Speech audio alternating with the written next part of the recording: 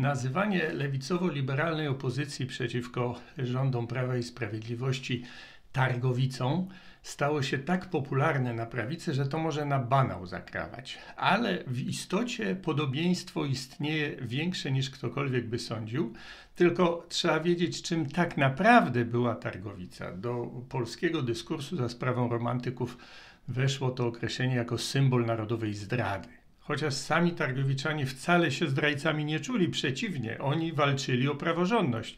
I może Państwa zdziwię, naprawdę walczyli o praworządność. Stali e, przy konstytucji, pierwszej polskiej konstytucji, o której nie chcemy pamiętać z oczywistych powodów, przy tak zwanych prawach kardynalnych, których gwarantem były ościenne mocarstwa, e, przeciwko uzurpacji, jaką była konstytucja 3 maja. Piękna, wspaniała jako pomnik myśli konstytucyjnej, ale tak naprawdę nielegalna bo po czterech latach wożenia się w Sejmie, w którym nikt nie miał wystarczającej większości na cokolwiek, z po prostu podstęp e, taki postanowili reformatorzy zastosować, że zwołali swoich y, dwa tygodnie przed otwarciem sesji Sejmu opozycyjny, znaczy tych przeciwnego obozu, który się nazywał patriotycznym, zresztą sam się tak nazywał, nie informując o tym, no i w taki sposób nielegalnie Konstytucję 3 maja uchwalono, więc w pełni, w glorii, majestacie prawa targowiczanie zwrócili się do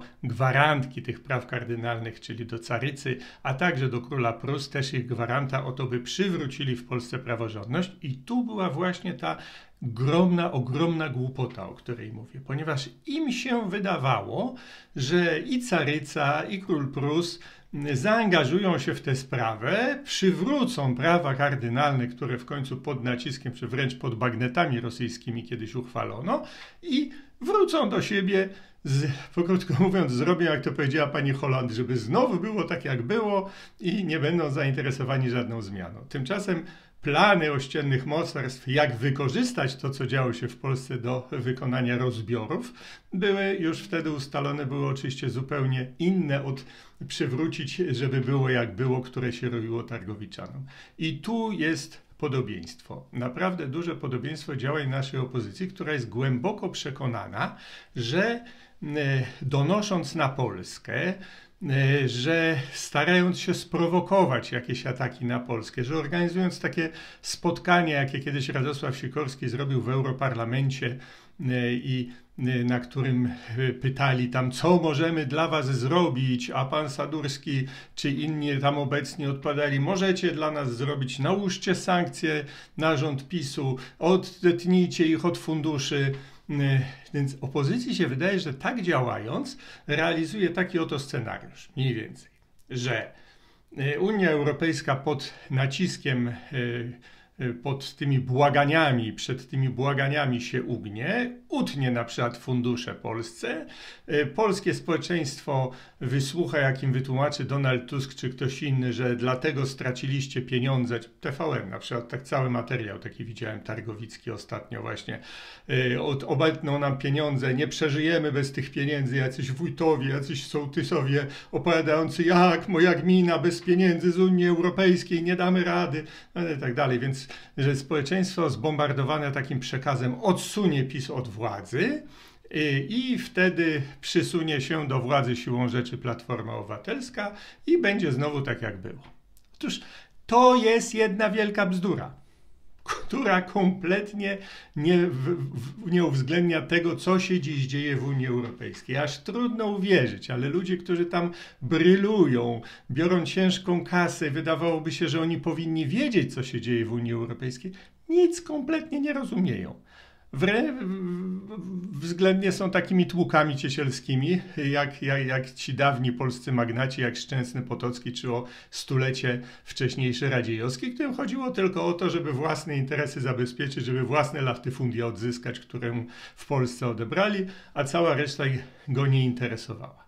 Ale co się dzieje w Unii Europejskiej w największym skrócie? W Unii Europejskiej się ścierają w tej chwili dwie frakcje – Mianowicie frakcja, nazwijmy to Angeli Merkel, nie mówię o personalnej części tego sporu, bo to się też da wskazać. E, zachęcam do przeczytania mojego artykułu w następnym do rzeczy, gdzie będę pisał e, o sprawach e, tych, tych, tych wypowiedzi pana Gentiloniego, że Polska straci fundusze z funduszu odbudowy, ponieważ nie uznaje nadrzędności prawa unijnego nad prawem krajowym. To jest właśnie część tego sporu, wojny wewnątrz Unii Europejskiej, wcale nie wojny Unii Europejskiej z Polską, bo nie ma w tej chwili jednej eurokracji, tylko tam się spór toczy. Więc yy, spór toczy się o to, czy realizować koncepcję Angeli Merkel, czyli Europa mniej więcej taka, jaka jest, negocjujemy, ustalamy, zachowujemy szeroki, wolny rynek, y, nie pchamy się na siłę z szybkimi reformami, zmianami ustrojowymi, czy realizować opcję lewicową, której otwarcie kiedyś mówił Martin Schulz, pewnie dlatego już się nie liczy, że mówił o tym otwarcie.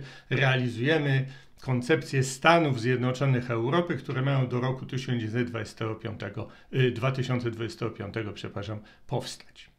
Te dwie koncepcje, te dwa pomysły, te dwie wizje są krańcowo sprzeczne, ponieważ nie da się zrobić zintegrowanej Europy w jedno państwo w obecnych granicach Unii Europejskiej zaczynacie Państwo łapać o co chodzi, tak?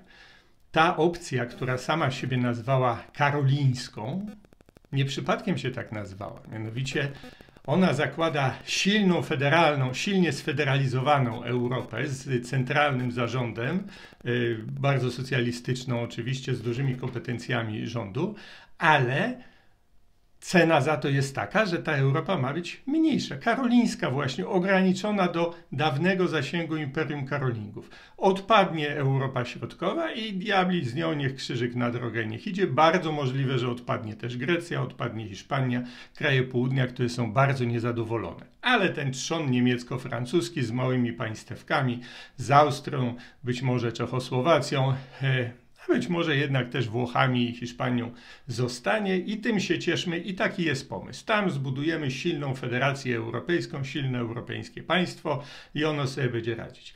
Do tego celu Polaków trzeba odstrzelić, ponieważ Polacy postrzegani są słusznie czy nie, jako taki kraj, który, z którym więcej kłopotów zawsze jest niż pożytku. No bo z jednej strony, owszem, duży kraj, duży rynek, gospodarcze pożytki, ale lewica nie patrzy na gospodarkę, patrzy na politykę. A politycznie to jest tak, że każdy, kto chce być tutaj nad tym protektoratem panować, to zawsze ma z tymi Polakami problemy, bo oni własnego państwa stworzyć i sami się rządzić, to tak nie bardzo potrafią, ale stawać kantem i psuć robotę swoim protektorom zawsze potrafią. No więc patrzy taki Martin Schulz jeden z drugim na to i myślę, na cholerę nam to. Sprowokujmy ich do diabła, żeby oni sobie poszli. Dlatego działania Unii, tych unijnych eurokratów, nie tych z frakcji Merkel, der Leyen, ale tych z frakcji, do której prawdopodobnie należy Gentilioni, a na pewno należał Martin Schulz, tych, tych eurokratów karolińskich. Dlatego ich działania bynajmniej nie są nakierowane na to, żeby Polacy wstrząśnięci perspektywą utraty funduszy zmienili władzę. Ich działania tak naprawdę są nakierowane na to, żeby wzmocnić władzę Prawa i Sprawiedliwości w Polsce, żeby wzmocnić władzę Orbana na Węgrzech i wiedzą, że prowokują to, co robią, to, to co, co, co jak stawiają sprawę, nie mówiąc o jakichś tam konkretach, tylko jasno, wyraźnie, jak Gentiloni powiedział, Polska ma uznać prymat prawa unijnego nad y, krajowym, bo inaczej straci pieniądze. Co za bezczelność, powie ktoś, kiedy nie ma to nie tylko odparcia w traktatach, ale 10 krajów, które już dostały pieniądze z Funduszu Odbudowy, wszystkie co do jednego na czele z Niemcami, które zostały jako pierwszy, odrzuciły prymat prawa unijnego nad swoim, albo po prostu milcząco go odrzucają, nie wykonując yy, od wielu lat rozmaitych wyroków TSUE. Więc wybranie takiego pretekstu oczywiście służy temu, żeby wręcz Polaków sprowokować, a nastroje antyeuropejskie, eurosceptyczne tutaj stworzyć. I głupia opozycja totalna jest po dwakroć głupia, bo oni nie tylko nie rozumieją, jak bardzo szkodzą Polsce, oni nie rozumieją, że są częścią gry, która jest dokładnie na odwrotne cele nakierowana niż im się roi. Nie jest tak, że Unia Europejska za wszelką cenę chce Polskę utrzymać w swych granicach. Van der Leyen tak, ale nie, nie lewica, która szykuje się do rządów Unią Europejską i ona chce właśnie odstrzelić Polskę i Węgry jak najszybciej, bo to przeszkadza im w budowie Stanów Zjednoczonych Europy. Oczywiście między nami mówiąc, oni też są idiotami, ci eurokraci, żyjącymi w świecie urojeń, bo nie zdają sobie sprawy z tego, jak potężne są siły ośrodkowe w samej starej Unii Europejskiej, tej karolińskiej, które sprawią, że im się nigdy nie uda zbudować sprawnej federacji żadnego e, europejskich Stanów Zjednoczonych. Nie uda im się nawet zbudować Zjednoczonych e, e, Związku Socjalistycznych Republik Europejskich. Co są w stanie zbudować? Są w stanie zbudować taką drugą Jugosławię. Ze wszystkimi tego konsekwencjami. Kraj, w którym wszyscy będą nienawidzieć Niemców, twierdząc, że Niemcy ich okradają, wysysają ich dobrobyt, żyją na ich koszt i nie będzie to bez racji. A Niemcy będą nienawidzieć wszystkich dookoła, twierdząc, że wszyscy inni żyją na ich koszt i, i, i, i, poziom życia Niemiec się bardzo obniża właśnie przez te inne kraje, które oni muszą utrzymywać. I też to nie będzie bez racji. Tak właśnie wyglądały stosunki między Serbią a innymi państwami jugosłowiańskimi i wzajemna nienawiść, która się tam budowała. Tak właśnie budowała się wzajemna nienawiść w obozie socjalistycznym. Ludzie mojego pokolenia pamiętają, że mówiono, no nic nie ma, bo wszystko ruskie do nas, od nas wy, wywożą. Wszystko. Ostatnia świnia się, prawda, ze, ze, ze ten pojechała, jak taką świnię do rzeźni prowadzą, to myśli tylko o tym, żeby przynajmniej serce w ojczyźnie zostało.